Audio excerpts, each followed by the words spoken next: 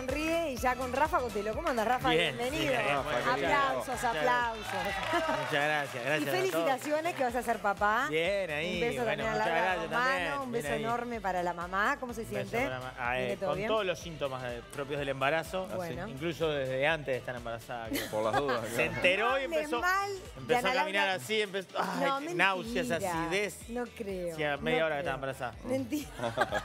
Sos tan malo. Otra criatura que está por dar a luz es, el- bueno, en realidad ya tiene varias, varios clones, que es el Rafan Maxi, está en Dap Show, ¿verdad? Ah, sí, ya se han, Cierto. eh, lamentablemente han poblado, sí, parte del país. Y van a dar a luz acá en Montevideo el 17 de Porque el octubre. 3 ya tiene dos funciones agotadas, ¿no? Pa, increíble, eso de de verdad nos sorprendió. Increíble, te pasa siempre, Rafa. No, no, pero mirá, es lunes. Sacaste el 3 una, pusiste otra Claro, y el 17. y se agotó al toque esa del, del lunes 3 a las 8. En el movie, por las dudas. En el movie. Y se agregó una 10 y cuarto y se agotó también hace unos días y ahora está Otra eh, 17. ¿Y dónde compran las entradas? en movie, en movie.com.uy o al Bien. 2900 3900. Correcto. Es ahí, ¿no? Exacto. 2900 3900. Así Bien, que vayan, bien. por favor. Pero por favor, van Porque aparte eh, fue toda una decisión la, la de tomar hacer una tercera. Porque dijimos, vamos no con estas dos, llena, tranquilo. Dejar con gusto a Claro, poco, ahora pero sí la- vamos a la tercera y somos nosotros, sí, ocho. te morí de la tristeza, ¿entendés? No, Claro. dale, Rafa. Vamos a esperar, vamos a esperar que vaya la gente. Dale, bueno. La gente también fue el martes pasado a lo que fue este partidazo de la selección ante Paraguay, ese 4 a 0. El, el tiempo era inhóspito, el clima, pero lo que se vio adentro no quiero pensar. Eh, Es la primera vez. Rafa, perdón, Ceci, que, no es la- que no estabas. ahí, ¿no? En Sí, eh, primera vez en 10 años que no, que Que no veías a la que selección no veía ahí. la selección en vivo. Y tiene, tiene también algunos puntos positivos, ¿eh? porque fue acompañado de amigos, estufita leña, choricito al pan. y Te diste cuenta que había otro mundo. Había otro fuera mundo lejos tribuna. del frío. Eso es de viejo lo que te está pasando. Sí, es lo peor. Años No, atrás hubiese dicho, me moría por estar ahí, pero... Y en vez de increpar al golero rival, hay que- le decías algo a alguien. Hay algunos compañeros, amigos que hubo uno, por ejemplo, que no, no produjo bien el tema víveres y toalla y no trajo el, el líquido elemento Clave. fundamental, que es el vino. Entonces, como siempre, pierde mi ejército. Yo tengo un ejército personal en mi, mi casa de vinos lindos, buenos. Sí. Cuando hay comida con amigos, se Tampoco toma 10 litros de vino. No, lija ya no. No, cuando está en comida con amigos, se toman 10 litros, se compra una damajuana. Ah. Él no compró la damajuana. Ah. Entonces, ¿quién pierde ahí? El ejército. vos. Y nunca se repone No, ni, con un bajó nada. todo. Nada. La cava. Bueno, ¿qué vas a hacer? Vamos a repasar el partido y a la vuelta lo seguimos comentando con Rafa Cotelo.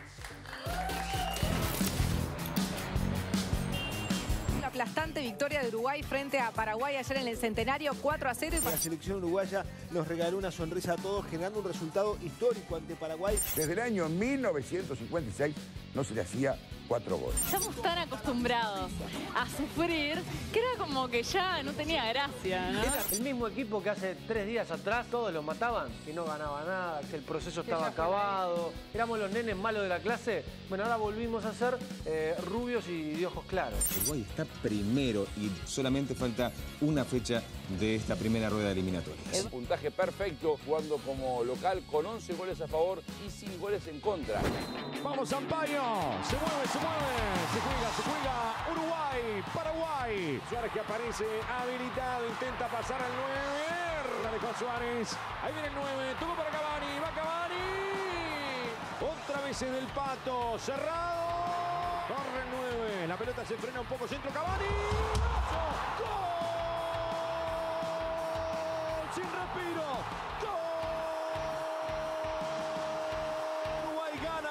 Frente a Paraguay. 18 del primer tiempo. Un festejo muy especial, como desahogándote de algo. Después del sabor amargo que tuvimos en Argentina, era normal yo creo que descargar un poco esa, esa rabia que nos quedó de ese partido. El enganche del Escano, remate del Escano. Llega Ramírez. Muy solo Jiménez. Viene el centro.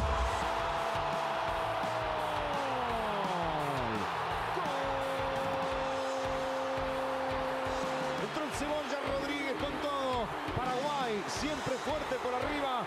Hoy lo está sufriendo. Tasa de desempleo. Vas a querer ver esto. Se pide, bueno, que exista... Oye, ¿qué fue eso? Para que nos dé más detalles está con nosotros nuestra compañera Laura Raspo. Un poco alentador los datos del INE, alentador y los datos del partido, me hacen tentar de risa. Gol de Uruguay, gol de Uruguay, gol de Uruguay. Laura, muchas gracias y quédate un rato más porque estuviste al aire y dos goles de Uruguay, ¿no? Mientras Laura hablaba, Uruguay hizo dos goles, así que no te vayas muy lejos. Suárez pasa, Suárez va, enganche. Penal. Penal, sí señor. Llega Suárez, va al 9.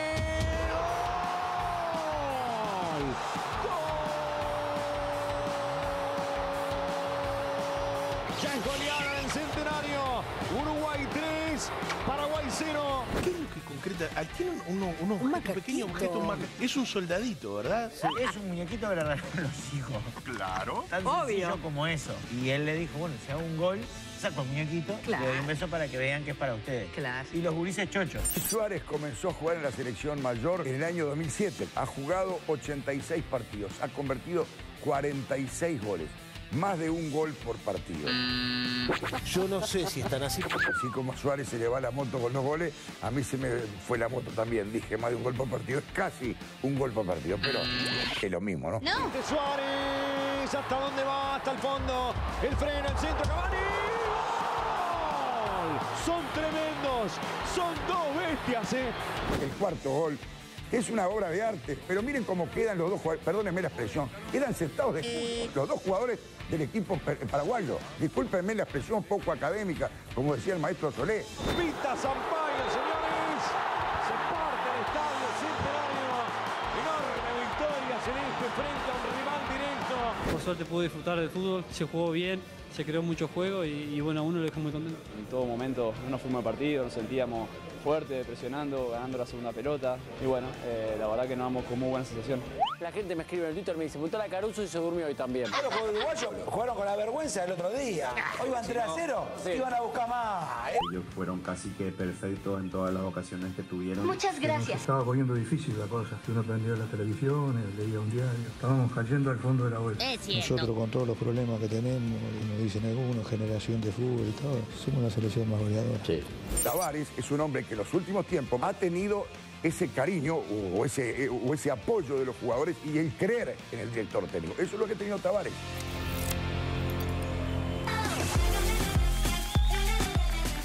Sé qué es lo que más nos cuesta, sí, vernos adelante en la tabla de posiciones o imaginar dónde se puede haber guardado el muñequito Suárez. Sí. ¿No? Porque la- mucha gente decía, está su muñequito, pero ¿dónde fue carajo lo objeto de tenías? discusión, acá en la media, Gemma, ¿dónde va a estar? No, no, no. Es un detalle que no presté atención. Ah, no pensé que tenías datos y No, no, no, me no, querías no lo pregunté. Ah. No lo pregunté. ¿A vos, Rafa, que sos llegado a varios del plantel, te sorprende verlos arriba, que estemos arriba en la, como en la selección o es algo natural del proceso? Y yo debería decirte no, porque confío mucho en... en- pero sí, obvio. Mirá. Es Uruguay, es un milagro.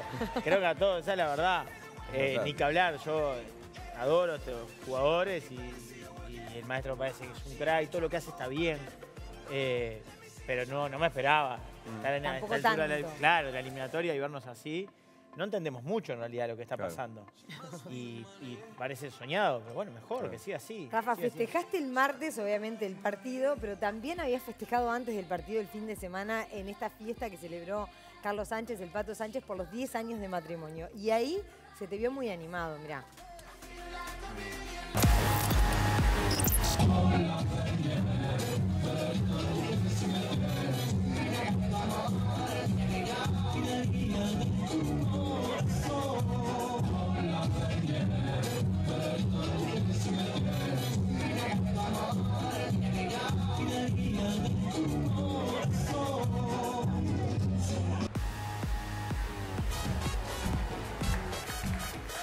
Qué fuerte. Porque era Bola de Nieve, que es la canción con la cual bailaron por primera vez ellos, Sofía. y Exactamente. Luis. Es es un tema recontra significativo para ellos. Lo Por eso lo buscaste Eh, probando a la mujer. Claro, de, de hecho fue todo como armado durante la, la noche, se habló, de, se bailó y, y se decía, bueno, si ponen este tema, si ponen este tema, y estaba por venir, por empezar uno de los shows en vivo y no lo ponían. Y cometí la picardía de, ir a pedirle al DJ el clásico borracho pesado que se le juega, poneme, poneme la bola de nieve. El tipo me dijo, mira, desde el 2001 no me la pide. Tengo que descargarla, claro. Eh, sí. sí, sí, sí, ya. Y la puso y claro, para ellos era revivir la escena de que se conocieron. y peleándolo, este, la, la bailamos en coreografía y, y salí a abrazar Sí. a, a Pero Sofía. igual vos fuiste vivo porque el, el video lo subiste en tu Twitter después del partido, por las dudas, ¿no? Está todo ¿Con autorización de, de Luis? No. ¿o Me sí? olvidé de, pedir un- de Ah. pedirle de permiso. ¿Sí? ¿Te relajó? Me puteó todo. ¿Te sí, sí. Igual Al sos, otro día. sos de verdad muy amigo, Luis. No, no, no, muy amigo, no. Tengo muy buena relación y confianza. Ahí está. Pero me, me, me puteó, sí. Ah, sí, no quiso. Vos, me hubiese avisado. Claro. no, está tranquilo, ya está. Está solucionado. Ya te Claro, conoce, Fue bueno. un baile once y media, ¿no? Claro, no, era a las 7 de la tarde. Bueno, muy bien. En esa fiesta además estuvo Marama, ¿no? Estuvo Marama. Estuvo Agustín Casanova, con quien también estuviste. Estuviste en todos lados, Rafa. Sos drupi. Una semana media. Sí. dos días. una semana, una vida. Una vida un Yo poco siempre en agitada. todos lados. Sí. Bueno, eh, estuviste también presentando esta aplicación eh, mm, elaborada por el Ministerio de Salud Pública, El Gurú del Sexo, que busca justamente dar información a los adolescentes sobre sexualidad y salud eh, reproductiva en todos los sentidos y de algún modo también evitar embarazos adolescentes, que se supo también una cifra bastante alta. Datos Sí. del 2014 hablan del 16% de los nacimientos, casi 8.000 son de bebés de mamás de entre 10 y 19 años. Así que estuviste ahí presentándolo junto con Agustín Casanova.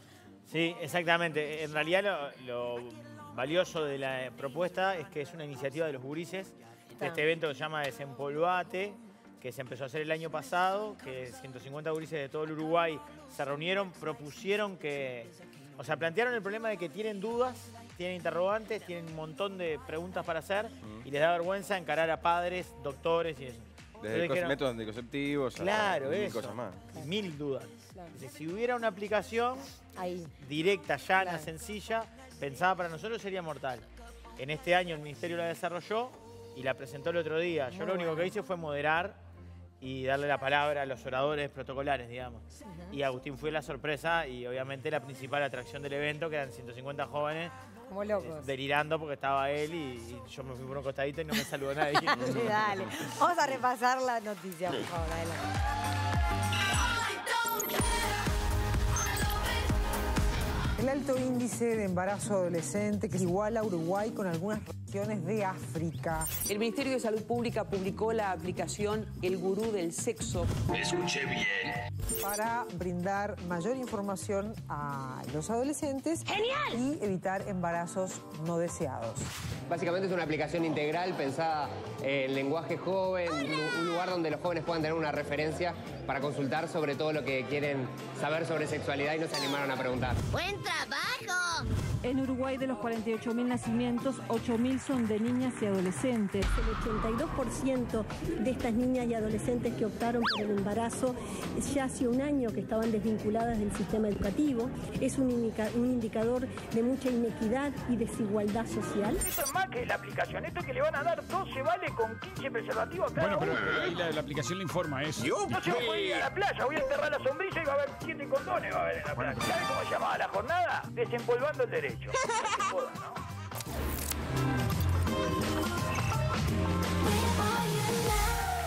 Ahí teníamos lo que fue la, la presentación y un poco más de información. ¿Podrías jactarte, Rafa, que sos un poco también gurú del sexo, ya que estabas ahí? Eh, ¿Tenés, algún- consejo, no sé, algún tengo, aporte? tengo la aplicación bajada en mi celular. Ah, bien. ¿Y? Eh, por consultas particulares hackeo mi teléfono en producción. No te hagas el listo. No, no. Que dormís afuera. Pero- No te tenés hagas el- razón. La oficina está no. cerrada hasta dentro de unos meses. No, igual- ¿Unos en periodo de cuarentena capaz que se abre.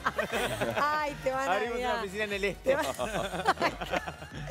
Rafa, vos comentaste la otra vuelta en la radio, y está bueno comentarlo acá, que, que- que este guacho Agustín es un crack, porque podría Sí. tener aires de divo, porque es una figura latinoamericana ya, pero él se había comprometido y fue. Sí, salado. Eh, y está bueno también saberlo y porque, porque de verdad está en la cresta de la ola Sí. y no, no puede ni con su vida ni con Sí, todo lo que genera.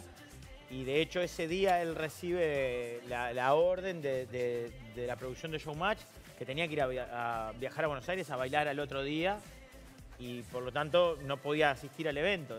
Y, él sintió que se había comprometido con algo de lo- en lo cual él participaba de manera honoraria, ¿no? Está clarísimo eso. Y movió cielo y tierra y fue y llegó 15 minutos antes del evento, escuchó todas las directivas que le dieron, fue y dijo perfectamente todo lo que tenía que bien. decir, lo comunicó de una manera mucho más directa que nosotros, le llegó a los gurises, los gurises pararon la oreja y después se quedó y se sacó fotos con todos. Sí, sí, sí. Un crack, la verdad, una humildad, un gurí que ojalá le siga yendo bárbaro, porque Sí. lo que está demostrando es que eh, como Está- artista está es un fenómeno bien. y aparte como, como gurí también, así que felicitaciones. Para la familia, calculo. Sí, ni hablar, ni hablar, sí. Rafa, con la amistad que nos une y por ella también, y como has aparecido varias veces en este espacio, sobre todo humillando y tratando a esa diva divina que es Ana Durán, te voy a obsequiar. eh,